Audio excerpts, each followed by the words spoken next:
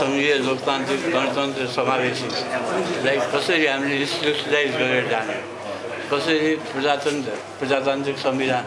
लोकतान्त्रिक संविधानको रूपमा ल्याउने जसले गर्दाखेरि सबैलाई र त्यसका साथै विकासको अंशे सुरुवात हुन्छ र मलाई विश्वास छ कि नेपाली जनताले प्रजातन्त्रलाई र लोकतान्त्रिक संविधान प्रदान गर्नुमा सबैले सहयोग गर्नुहुनेछ नेपाली कङ्ग्रेसलाई विजय छ। घोषणापत्र कहिले आउँछ? घोषणापत्र आज मलाई लाग्छ आज आज यसको एनाउन्स हुन्छ र अब तपाईँहरू समक्ष पनि आइपुग्छ। कति दिनको बसाइ छ हजुरको अहिले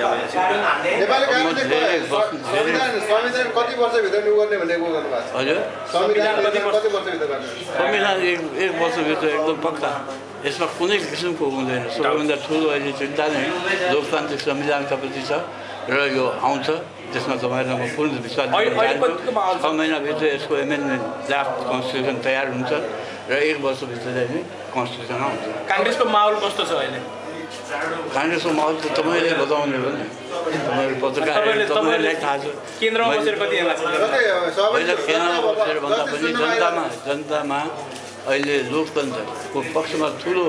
मैले लहर देखेको छु